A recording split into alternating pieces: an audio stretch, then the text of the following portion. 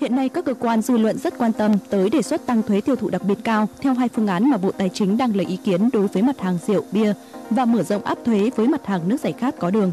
Đa phần doanh nghiệp đều đồng tình với nghĩa vụ phải nộp thuế, nhưng theo các chuyên gia, việc đánh thuế cần lộ trình phù hợp.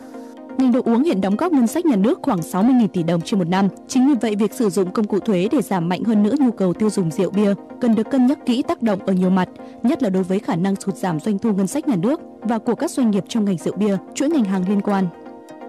Việc điều chỉnh tăng thuế suất các mặt hàng rượu bia trong thời gian tới là cần thiết và phù hợp với chủ trương của Đảng và Nhà nước. Tuy nhiên, theo các chuyên gia, cần xem xét phương án giãn thời gian tăng thuế suất có lộ trình để các doanh nghiệp có điều kiện xây dựng phương án chuyển đổi sản xuất kinh doanh không bị xáo trộn quá lớn. Ví dụ năm đầu tăng thuế suất 5%, các năm tiếp theo thuế suất sẽ tăng theo lộ trình vài năm thay vì một năm. Khi có chính sách hợp lý thì sẽ hài hòa các mục tiêu đặt ra của thuế tiêu thụ đặc biệt, tăng thuế không quá đột ngột và có lộ trình để không ảnh hưởng quá lớn đến các doanh nghiệp sản xuất, kinh doanh.